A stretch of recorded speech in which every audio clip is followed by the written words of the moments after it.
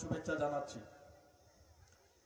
এখানে বিস্তারিত আলোচনা হয়েছে, আমরা কেন আজকের এই নির্বাচন এখানে প্রয়োজন, আমরা জানি এটা আঠারোতম লোকসভা নির্বাচন, এবং এই নির্বাচন প্রধানমন্ত্রীজিকে তৃতীয়বারের জন্য ওনাকে প্রধানমন্ত্রী হিসাবে দেখার জন্য তার নির্বাচন।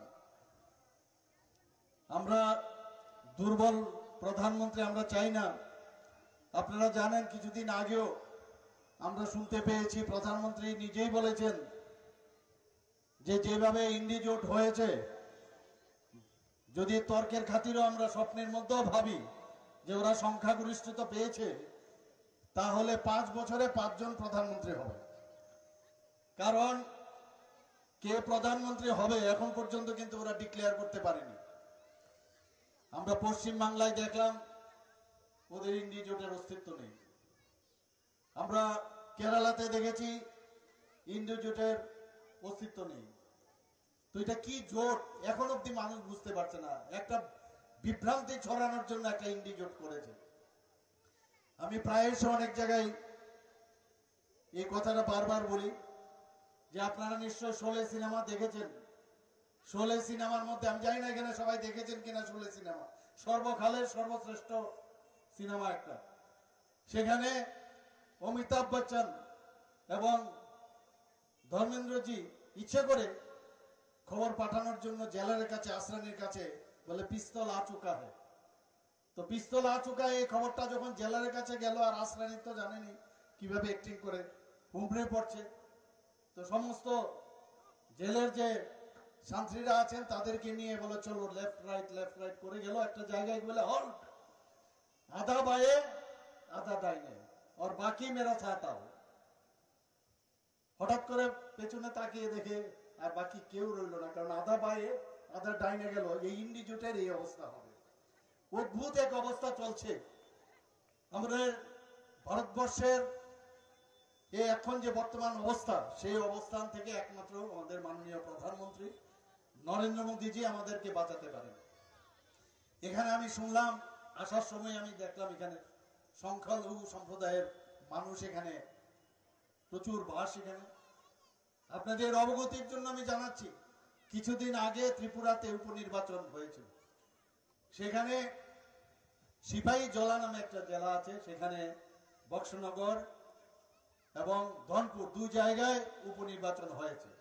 এই বক্সনগরে সিক্সটি ফাইভ পার্সেন্ট সংখ্যালঘু মা বোনেদের বাস সেখানে কি হয়েছে? সবসময় এখানে সিপিএম এর একটা ঘর ছিল এখানে।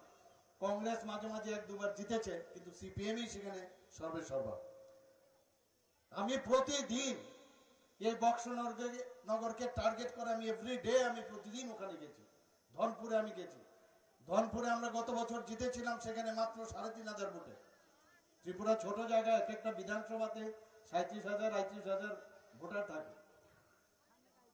সেখানে এই বক্সনগর কেন্দ্রে আমি সমস্ত জায়গায় যারা ইমামরা আছেন, মসজিদে, যেখানে আমি সব জায়গায়, সব মানুষের কাছে কথা বলেছি। খালি গিয়ে বলছি, প্রধানমন্ত্রীজি, সবকা সাথ, সবকা বিকাশ আর বিশ্বাসের এবং তার প্রয়াসের কথা বলেন। আপনারা জানি না এটা শুনেছেন কিনা। সেখানে আমরা শুধু জিতেই নি সেখানে ওদের জামানত জব্দ আমরা করে দিয়েছি এই বক্সনগরে। আপনারা ভাবুন, মানুষ খালি আস্থা চায়, মানুষ বিশ্বাস চায়। আর এই বিশ্বাস কে দিতে পারেন? মাননীয় প্রধানমন্ত্রী নরেন্দ্র মোদীজি। ধনপুরে আঠারো হাজার, যেখানে আর সাড়ে তিন হাজার ভোটে জিতেছিলাম, আঠারো হাজার ভোটে আমরা জিতেছি। ভাবুন। এবং আমি প্রায় ত্রিপুরার থেকে মাঝে মাঝে ভাবি, যে এই যে বিভ্রান্তি সৃষ্টি করার একটা প্রয়াস বিরোধী দলের যারা আছেন, বিশেষ করে তৃণমূল কেন ওরা করছে এই বিভেদ? এই বিভেদের মধ্যে গুলা জলে ওরা মাছ ধরতে চায়। মানুষ বুঝে গেছে এখন। আমাদের সবাই গরিব রাখতে চায়। যতগুলো পার্টি আছে, তৃণমূল হোক, কংগ্রেস হোক, সিপিএম হোক, গরিব রাখতে চায়। আর প্রধানমন্ত্রীজি বলছেন, সবার উন্নতি আমরা চাই। তো সেই কারণে এই নির্বাচন খুবই গুরুত্বপূর্ণ আমাদের কাছে। রাষ্ট্র নির্মাণের নির্বাচন, গ্যারান্টির নির্বাচন। প্রধানমন্ত্রীজি বলছেন, আমি প্রতিটি মানুষের গ্যারান্টি আমি দিতে চাই। আর গ্যারান্টিরও গ্যারান্টি অর্থাৎ আমি যে কাজটা করব, আমি সেই কাজটা যেন সময়ের কাজ সময়ে শেষ হয়। এখানে প্রায় এসে বলা হয়, পশ্চিমবঙ্গে নাকি আমাদের দিল্লির থেকে একটা স্টেপ মাদারলি বিহেভ করে। এখানে এতগুলো যে রাস্তাঘাট ন্যাশনাল হাইওয়ে এক্সপ্রেসওয়ে রেল এখানে কিছুদিন আগেও হাওড়ার এখানে দেখেছেন আপনারা? যে রেল লাইন প্রথম ভারতবর্ষের মধ্যে একটা জলের নিচ দিয়ে মেট্রো শুরু হলো। এত বড়, এত ডেভেলপমেন্ট সেটা একমাত্র সম্ভব হয়েছে। এই বৈমাত্রী সুলভ আচরণ আমাদের মাননীয় প্রধানমন্ত্রীজি করেন না। আমাদের যতগুলো স্কিম আছে মাননীয় প্রধানমন্ত্রীজি, প্রধানমন্ত্রী আবাস যোজনায় হোক, প্রধানমন্ত্রী আয়ুষ্মান ভারতেই হোক নল সে জলে হোক, প্রধানমন্ত্রী কিষাণ সম্মান নিধি হোক প্রধানমন্ত্রী উজ্জ্বলা যোজনাই হোক, সেখানে কোথায়? আমরা তো দেখি না। জাত, পাত, ধর্ম নির্বিশেষে এইভাবে তো আমাদের প্রধানমন্ত্রীজি সেভাবে দেন। তাহলে কেন আমাদের মধ্যে এই বিভ্রান্তি সৃষ্টি হচ্ছে? সেটা আমাদের আজকে ভাববার বিষয়। আজকে আমাদের দেশকে যদি শক্তিশালী করতে হয়, তাহলে একমাত্র মাননীয় প্রধানমন্ত্রীজির হাত শক্তিশালী করতে হবে। আমাদের এখানে হিরণময় ডক্টর হিরণময় চ্যাটার্জি দাঁড়িয়েছেন এখান থেকে এই গাটালা কেন্দ্র থেকে। উনাকে ভোট দেওয়া, এ পঁচিশ তারিখ সকাল সকাল গিয়ে শুধু আপনারা না, আপনারা সমস্ত মানুষের ঘরে ঘরে যাবেন, মানুষকে গিয়ে বলবেন যে মাননীয় প্রধানমন্ত্রী যে আমাদের পাঠিয়েছেন, উনি আপনাদের আশীর্বাদ চাইছেন। খালি এই কথাটাই বলবেন এবং সকাল সকাল গিয়ে এই যে একটা কুশাসনের দুঃশাসনের একটা সরকার তৃণমূলের এখানে চলছে, তার বিরুদ্ধে যদি আমাদের আওয়াজ তুলতে হয়, তাহলে সকাল সকাল গিয়ে আমাদের এই ডাক্তার হিরণময় চট্টোপাধ্যায়কে ভোট দিয়ে বিপুল ভোটে জয়যুক্ত করতে হবে, বন্ধুগণ। আপনারা জানেন ত্রিপুরা তো একই অবস্থা ছিল। আমরা ৩৫ বছর সেখানে বামফ্রন্টের সরকার ছিল। এবং সেই বামফ্রন্টের সরকার যেখানে আমি যাই, হাজার হাজার লোক আমরা দেখেছি, সেখানে বাড়ি ছাড়া হয়েছে। নির্বাচনের সময় সন্ত্রাস, নির্বাচনের আগে সন্ত্রাস, নির্বাচনোত্তর সন্ত্রাস, এগুলো করে এসছে। যেখানে যেখানে কমিউনিস্টরা রাজত্ব করেছে, সেখানে আমরা ত্রিপুরাতে দেখেছি পশ্চিম বাংলা তো একই অবস্থা, চৌত্রিশ বছর ওরা এখানে রাজত্ব করেছে। একই কায়দায় তৃণমূল এবং তার সরকার একই কায়দায় চলছে। কেরালা তো একই অবস্থা চলছে। এবং এই, এখন যদি আপনারা ত্রিপুরাতে আপনারা যান, বন্ধুগণ, আপনারা শুনলে নিশ্চয়ই খুশি হবেন। যদি ফ্লাইটে আমরা আসি ত্রিপুরাতে, মাত্র চল্লিশ মিনিট লাগে। আমি যদি ক্যালকাটা আপনার দমদম থেকে বেহালাও যায়, সেখানেও প্রায় এক থেকে দেড় ঘণ্টা লেগে যায়। কিন্তু ত্রিপুরাতে যদি যেতে হয়, মাত্র চল্লিশ মিনিটে। মাননীয় প্রধানমন্ত্রী যে আমাদেরকে রেল দিয়েছেন। এই রেলের অলরেডি বাংলাদেশের মাধ্যমে যদি কলকাতায় আসে মাত্র পাঁচ থেকে ছয় ঘণ্টার মধ্যে আপনারা পৌঁছে যাবেন এই মানে এই আগরতলা থেকে পশ্চিমবাংলা আর পশ্চিমবাংলার থেকেও আপনারা যেতে পারবেন। শান্তি বিরাজ করছে। দু হাজার তেইশে এখানে ইলেকশন হয়েছে। আপনারা শুনে খুব খুশি হবেন নিশ্চয়ই যে মাঝে মাঝে এই যে সর্বভারতীয় তৃণমূল কংগ্রেস, সর্বভারতীয় লেখার জন্য ওনারা মাঝে মাঝে উকি ঝুঁকি দেন, পরিযায়ীর মতো ত্রিপুরাতেও আসেন। কিন্তু দু হাজার তেইশের ইলেকশন আমরা কি দেখলাম? নোটার থেকেও কম ভোট ওরা এখানে পেয়েছে। Point eight percent, zero point eight percent vote ত্রিপুরায় পেয়েছে বন্ধুগণ। এই হচ্ছে তৃণমূলের অ্যাকসেপ্টেন্স ত্রিপুরার মধ্যে। মানুষ জানে আপনাদের যে অবস্থা এখানে, যে ধরনের নির্যাতন করা হয়। আজকে আমরা সবাই জানি যে, আমরা সব সময় জানি যে পশ্চিম বাংলাকে সব সময় বলা হয় what Bengal thinks today, India thinks tomorrow. Paschim Bangla আজকে যেটা ভাবে, সেটা সমস্ত ভারতবর্ষ ভাবতো আজকে আমরা কি দেখছি? আমরা আগে বিবেকানন্দজির নাম শুনতাম। গর্ব করি আমরা। আমরা রবীন্দ্রনাথ ঠাকুরের জন্য আমরা গর্ববোধ করি। ডক্টর শ্যামাপ্রসাদ মুখার্জির জন্য আমরা গর্ববোধ করি। সবার জন্য আমরা এখানে গর্ববোধ করি। কিন্তু আজকে আমরা কার জন্য গর্ববোধ করি? এখানে এখানে আমরা দেখছি কি? যে এখানে, এখন শাহজাহান এবং সিরাজ, এই দুজনের নাম মানুষ এখন জানে। এটা অদ্ভুত একটা অবস্থা দাঁড়িয়ে গেছে এখন। ভারতবর্ষের মধ্যে মানুষ তাকিয়ে আছে পশ্চিমবঙ্গের এইবারের যে নির্বাচন, সেটা কবে এই নির্বাচন হবে এবং তার রেজাল্ট কারণ এই নির্বাচন লোকসভা নির্বাচন হলেও পশ্চিমবঙ্গ আগামী দিন কি হবে তার নির্বাচন। এর জন্য বন্ধুগণ, আমরা জানি যে মাননীয় প্রধানমন্ত্রীজি যে টার্গেট ভারতীয় জনতা পার্টির যে টার্গেট আমাদের দিয়েছে, কি টার্গেট দিয়েছে? ইসবার ইসবার জোরে বলতে হবে ইসবার তাহলে টার্গেট আমাদের বিজেপি এবং এনডিএ মিলে আমাদের এই টার্গেট এই ঘাটাল যে লোকসভা কেন্দ্র, তার তাও সেখানে গিয়ে যুক্ত হবে এবং পদ্ম একটা ফুল মাননীয় প্রধানমন্ত্রীজিকে দেব। ফির একবার ফির একবার ফির একবার। একদম আমাদের সেটাই করতে হবে বন্ধুগণ। কারণ আমরা যদি পারি, ত্রিপুরার মানুষ যদি সেটা পারে, আপনারা কেন পারবেন না? আমি যারা যুবক সম্প্রদায়ের এখানে আছেন, তাদেরকে আমরা বলব, একটু বেরিয়ে আসতে হবে, বুঝতে হবে দেশ কীভাবে চলছে। দেশকে যদি আজকে অর্থনৈতিকভাবে আমরা শক্তিশালী না করি, একটা দশ এগারো স্থানে ছিল আজকে আমাদের ভারতের অর্থনীতি, সেই জায়গায় এক লাফে আমাদের পঞ্চম স্থানে চলে এসছে। সেটা সম্ভব হয়েছে একমাত্র মাননীয় প্রধানমন্ত্রীজির জন্য বন্ধুগণ। সেই জায়গায় এখন প্রধানমন্ত্রীজি চাইছেন তৃতীয় স্থানে অর্থনীতি যাওয়ার জন্য। আপনার অর্থনীতি যদি আপনার শক্তিশালী না হয়, কি করে আপনি ডেভেলপমেন্ট করবেন? এবং আমরা দেখতাম আগে ইউপিএ গভর্নমেন্টের সময় কংগ্রেসের সময়ে, আমরা সবসময় দেখতাম যে স্কেম স্কেমের সরকার আমরা দেখে এসেছি। এবং এই স্কেমের সরকার দু হাজার পরে আমরা দেখলাম যে স্কেম ছাড়াও একটা সরকার যে চালানো যায়, আমাদের মাননীয় প্রধানমন্ত্রী প্রধানমন্ত্রীজি দেখিয়েছেন। উনি বলেছেন, আমার কাছে জাতপাত, ধর্ম এইসব আমার কাছে বিশ্বাস আমি করি না। মানে তার উপর ভিত্তি করে রাজনীতির বিশ্বাস আমি করি না। উনি কি বলছেন? গরিবের জাত, যুবকের জাত, মহিলার জাত, কৃষকদের জাত। এই চারটা জাত আছে, এই চারটি জাতের যদি উন্নতি করা যায়, তাহলে সবার উন্নতি হবে। সেই দিশায় মাননীয় প্রধানমন্ত্রী যে কাজ করছেন। জি টোয়েন্টির সময় আপনারা দেখেছেন, কীভাবে বড় বড় রাষ্ট্র নেতারা এসছেন আমিও জি টোয়েন্টিতে আমি সেখানে গিয়েছি। সেখানে যাওয়ার পর আমি দেখলাম প্রধানমন্ত্রীজিকে যে সম্মান দিয়ে ওনারা কথা বলেন, আমাদের অনেক আমাদের সেটা আমাদের সংস্কৃতির মধ্যেও পড়ে না। অনেক রাষ্ট্রপ্রধান ওনাকে পা ছুঁয়ে ওনাকে প্রণাম করতে চান। ওনাকে মিস্টার বস বলে ওনাকে উন্নতি করতে চান। বন্ধুগণ, আমি একটা কথাই বলব, যে আগামী দিন পশ্চিমবাংলার জন্য সময় কিন্তু সবসময় আপনারা এই সময়ের সদ্ব্যবহার অবশ্যই আপনাদের করতে হবে। এটা হচ্ছে প্রকৃত সময় এবং এই প্রকৃত সময়ে আমাদের টার্গেট বিয়াল্লিশটা যে আসন সংখ্যা আছে পশ্চিম বাংলায়, তার মধ্যে আমাদের বত্রিশটা আমরা টার্গেট করেছি। আমি পশ্চিম বাংলার বহু জায়গায় আমি ঘুরছি, বহু জায়গায় আমি যাচ্ছি। সেখানে যাওয়ার পর আমি দেখছি মানুষের মধ্যে একটা স্বতঃস্ফূর্ত, একটা তার যে আস্থা প্রধানমন্ত্রীজির উপর সেই সারা আমি পাচ্ছি। এবং আজকেও এখানে একটা র্যালি আমি করেছি, একটা রোড শো আমি করেছি, সেখানেও আমি দেখছি। মানুষের মুখ দেখলে বোঝা যায় যে ভারতীয় জনতা পার্টির প্রতি তাদের আস্থা আছে কিনা। আমাদের পার্টি গুন্ডা পার্টি না।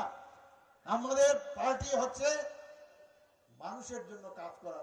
একদম শেষ ব্যক্তি সমাজের যে আছে, তার জন্য যেসব স্কিম যে অন্তর্দয়ের পার্টি হচ্ছে আমরা। এবং আমাদের যিনি ডক্টর শ্যামাপ্রসাদ মুখার্জি, উনি কি বলেছেন? উনি বলেছেন এর অর্থই না যে আমরা চুপ করে বসে থাকব, প্রথমে প্রতিবাদ করবেন। প্রতিবাদের পর যদি প্রতিবাদে না শুনে, তাহলে প্রতিরোধ করুন। আর প্রতিরোধে যদি না শুনেন, তাহলে প্রতিশোধ নিন। কিন্তু প্রতিশোধ আমরা কীভাবে নেব? এই আঙ্গুলটা দিয়ে সকাল সকাল গিয়ে যদি ভোটটা দেন আমাদের প্রার্থী ডক্টর হিরণময় চট্টোপাধ্যায়কে, তাহলেই সেই আপনার যে প্রতিশোধ নেওয়া হয়ে যাবে, বন্ধুগণ। বন্ধুগণ, আমি আজকে একটু আগে খবর পেলাম যে ওয়ান নাইনটি ফাইভ একশো পঁচানব্বই, একশো ছিয়ানব্বই, সাতশো সাতানব্বই এবং একশো একশো সাতানব্বই, একশো আটানব্বই, একশো নিরানব্বই এবং প্রায় দুশো বুথে সন্ত্রাস চলছে। আগেও চলেছে, এখনও চলছে। আমি বলছি, এখনও বলছি, তৃণমূলকে আমি এখনও বলছি যে এখনও এর থেকে বিরত থাকুন। কারণ আমাদের গার্জিয়ান কে আছেন নরেন্দ্র মোদীজি আমাদের গার্জিয়ান আমাদের গার্জিয়ান কে আছেন? আমাদের যশস্বী যশস্বী হোম মিনিস্টার আমাদের সবার প্রিয়, সবাই জানেন যে আমাদের প্রধান, আমাদের রাষ্ট্রীয় যিনি সভাপতি আছেন, আমাদের নাড্ডাজি আছেন, অমিত শাহজি আছেন, প্রধানমন্ত্রী আছেন। কাজে কাউকে ছাড়া হবে না, বন্ধুগণ। এইটুকু আমি বলতে পারি, সবার নোট ডাউন হচ্ছে, এইভাবে রাজনীতি হয় না, কোথাও এইভাবে রাজনীতি হয় না। এবং আমরা আশা করি এখনও সময় আছে, আপনারা এর থেকে, আপনারা এর থেকে নিরস্ত্র হন। আদারওয়াইজ যেখানে যা ব্যবস্থা নেওয়ার, আমি, আমরা সেই ব্যবস্থা আমরা নেব। বন্ধুগণ, আমরা দেখেছি যে আমরা শান্তি চাই এবং সম্প্রতি চাই। আমরা ভাইচারার মধ্যে এই সমাজের উন্নতি আমরা চাই। সমাজ পরিবর্তনের মাধ্যমে আমরা সরকারে থাকতে চাই। বন্ধুগণ, এখানে ডক্টর শ্যামাপ্রসাদ মুখার্জির কথা যদি আমরা বলি তেত্রিশ বছর বয়সে, সবচেয়ে কম বয়সে, তৎকালীন সময়ে ক্যালকাটা ইউনিভার্সিটির উনি ভাইস চেয়ারম্যান হয়েছিলেন, ভাইস চ্যান্সেলর হয়েছিলেন। এবং উনি যদি চাইতেন যে আমি আয়েস করব, কারণ এত বড় একটা ফ্যামিলির উনি ব্যক্তি ছিলেন, তারপরেও দেশ সভায় উনি নিয়োজিত হয়েছেন, বন্ধুগণ। আমরা জানেন যে প্রধানমন্ত্রীজি কি বলেন যে, মে মে, সবকে লিয়ে মে काम करना चाहता हूं मैं खुद भी नहीं खाऊं खाऊंगा दूसरे को भी नहीं खाने दूंगा বলছে কিনা উনি এবং সেই দিশায় উনি কাজ করছেন উনি কি বলছেন পঁচাত্তর সীমান্ত গ্রাম বীরকা নাম আমরা নিজেরা ত্রিপুরাতে এবং অন্যান্য জায়গায় অন্য প্রদেশে সমস্ত জায়গার মধ্যে আমরা পঁচাত্তরটা গ্রাম আমরা সেখানে আমরা চিহ্নিত করেছি সেখানে দেখা গেছে যারা সেখানে এই দেশের জন্য প্রাণ বলিদান হয়েছেন তাদের নাম খুদাই করেছি এখানে যারা বিএসএফ এর যারা আছেন বা সিআরপির আছে, পুলিশ বাহিনী, তাদের নাম খুদাই করে। এই যে পঁচাত্তর সীমান্ত গ্রাম, বীরকা নাম, সেটা মাননীয় প্রধানমন্ত্রীজি বলছেন। সেই হচ্ছে আমাদের প্রধানমন্ত্রী যেখানে দেশের যে ভাবনা, দেশাত্মক বোধের ভাবনা, সেটা উনি আমাদের মধ্যে জাগরিত করছেন। হর ঘর তিরঙ্গা, আপনারা সবাই জানেন, উনি কি বলেছেন? যে সবাই আমাদের এই পনেরোই আগস্টের গত বছর থেকে শুরু হয়েছে, এই বছরও সেটা হয়েছে। যে সবাই আমাদের তিরঙ্গা পতাকা নিতে হবে এবং পয়সা দিয়ে কিনতে হবে। এবং এই যে ভাবনা, চিন্তা, মানুষ যারা আমাদের দেশের জন্য স্বাধীন হয়ে করার জন্য যারা বলিদান হয়েছেন, তাদের প্রতি সম্মান দেওয়ার জন্য এই কথাগুলো উনি বলেছেন। মেরে মাটি, মেরা দেশ, আপনারা সবাই জানেন। আমরা এই মাটির উপর দিয়ে আমরা হাঁটি, কিন্তু এই মাটিকে আমরা সম্মান, আমরা দেওয়া উচিত কি উচিত না, সেটা কিন্তু প্রধানমন্ত্রীজি বলছেন, মাতৃভূমি বলছেন মাদার ল্যান্ড আমরা বলি। পৃথিবীর আর কোথাও মাদার ল্যান্ড বলে আমার জানা নেই। এবং সেই মাটিগুলো সমস্ত ব্লক থেকে মিউনিসিপ্যালিটি কর্পোরেশন থেকে গিয়ে সেটা আমাদের যে দিল্লিতে গিয়ে অমৃত বাটিকা সেখানে তৈরি হয়েছে। সেখানে সেটাই হচ্ছে মাননীয় প্রধানমন্ত্রীজির এক একবার একদিকে দেশের দেশকে একটা দেশাত্মক বোধের ভাবনা আর একদিকে দেশের নিরাপত্তার কথা বলছেন উনি। আমরা সেই দিশায় আমরা এরকম একজন গার্জিয়ানের অধীনে আমরা আছি। আর এখানে তৃণমূলের কি দেখছি আমরা? এখানে ভাইপো এবং পিসিমার কথা এখানে বলা হয়েছে। কি বলব ওনাদের সন্দেশকালীর কথা বলে তো আর লাভ নেই। পার্ক স্ট্রিটের ঘটনা ঘটনা হয় এবং ঘটনা হওয়ার পর ও বলছে যে সাজানো গল্প। আমরা সব সময় দেখি। বন্ধুগণ, এখনও সময় আছে। এখনও সময় আছে। শুধুমাত্র এইবারে এই লোকসভার ইলেকশনে যদি পশ্চিমবাংলা পরিবর্তন হয়, তাহলে দেখবেন এই সরকার টিকবে কি টিকবে না, আপনারা দেখতে পাবেন। একদম আমি নিশ্চিত সেটা হতে যাচ্ছে।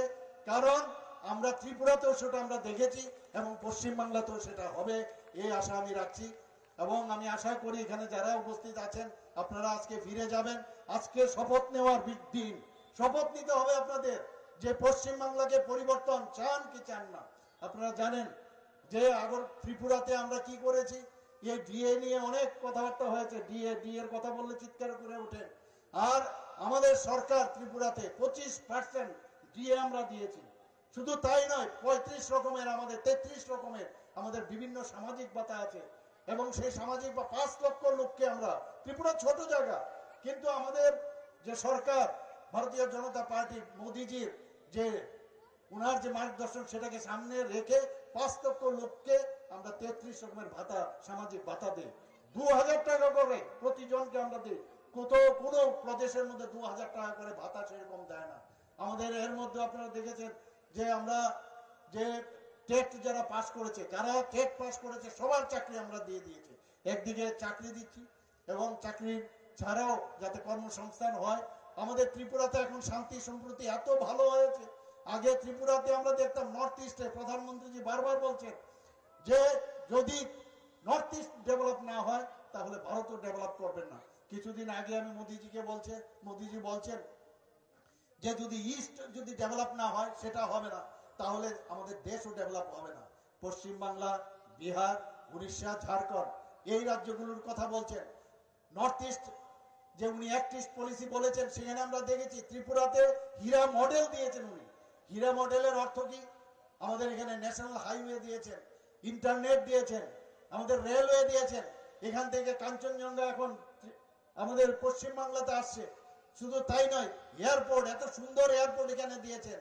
তাছাড়া জলপথ এখন যদি আমাদের বাংলাদেশের সাথে রেল যদি হয়ে যায়, আমি যেটা বললাম, সেটাও আমাদের এখানে পাঁচ ছ ঘণ্টার মধ্যে পশ্চিম বাংলায় পৌঁছে যাবে। শুধু তাই নয়, মৈত্রী সেতু, সাবরুম একটা জায়গা আছে আমাদের। সেখানে মৈত্রী সেতু সেটা চালু হয়ে গেলে অলরেডি হয়ে গেছে। তাহলে বাংলাদেশের মাধ্যমে আমাদের বিভিন্ন জায়গায় জলপথে আমরা আসতে পারব। এবং সেই দিশায় প্রধানমন্ত্রীজি কাজ করছেন। সমস্ত ভারতবর্ষের মধ্যে উনি ডেভেলপমেন্ট ডেভেলপমেন্ট ছাড়া কোনো কথা বলেন না। আগামী দিন পশ্চিম বাংলার যদি সত্যিকারের মান উন্নয়ন উন্নয়ন এবং মায়েদের সম্মান যদি রক্ষা করতে হয় এবং দেশকে যদি সুরক্ষিত করতে হয়, একমাত্র মোদিজি সেটা পারবেন এবং মোদিজি বারবার গ্যারান্টির কথা বলেন, সেই গ্যারান্টি আমরা আশা করি, আমরা সেটা দেখতে পাচ্ছি, শুনতে পাচ্ছি এবং শুধু উনি বলেন না, উনি সবসময় বলেন, আমি যা বলি তার গ্যারান্টি দিচ্ছে এবং সেটা আমরা দেখতে পাচ্ছি। একটা চাইওয়ালা, আপনারা জানেন, নিজে বাবার সাথে চাই বিক্রি করত। আমাদের আজকে স্বপ্নার সৌদাগর সৌদাগর। স্বপ্ন দেখাচ্ছেন উনি আমাদের এবং যা বলছেন তাই করছেন। যে কারণে আজকে উনি বুঝতে পারছেন যে শৌচালয়ের প্রয়োজন, শৌচালয় দিয়েছেন। বিভিন্ন জায়গার মধ্যে আমরা যে, আমি কিছুক্ষণ আগে যে স্কিমগুলোর কথা বললাম। কিন্তু এখানের মাননীয় কি বলছেন? যে আমরা কেন্দ্র থেকে এইসব স্কিম আমরা নেব না। অদ্ভুত এবং নাম পাল্টিয়ে নাম পাল্টিয়ে সেই স্কিমকে এখানে ইউটিলাইজ করছেন। বন্ধুগণ, সময় এসে গেছে, ঘণ্টা বেজে গেছে, আর বেশি দিন নয়। আমরা এখানে সবাই মিলে যদি আমরা পশ্চিম বাংলার আবার যে তার নাম, সেই নামকে যদি আবার পুনরুদ্ধার করতে হয়, সবাই মিলে গর্জে উঠতে হবে এবং সেটা সম্ভব একমাত্র মোদিজির হাত যদি আমরা শক্তিশালী করতে পারি এবং মোদিজির পদ্ম চিহ্নে আমাদের এখানে তো আছে নেই। হিরণময়দা দাঁড়িয়েছেন। সমস্ত পশ্চিম বাংলার লোক এক যুগে বেরিয়ে আসতে হবে এবং এসে মোদিজির হাত শক্তিশালী করতে হবে এবং আমাদের যে টার্গেট বত্রিশটা আসন, সেটা অবশ্যই পূরণ হবে বন্ধুগণ। এই কথাগুলো বলে আমি আপনাদের কাছ থেকে বিদায় নিচ্ছি। সবাই ভালো থাকবেন এবং আমি একটা স্লোগান দেব, আমার সাথে বলবেন, বন্দে বন্দে বন্দে, ভারত মাতা কি? ভারত মাতা কি ভারত মাতা কি নমস্কার জয় হিন্দ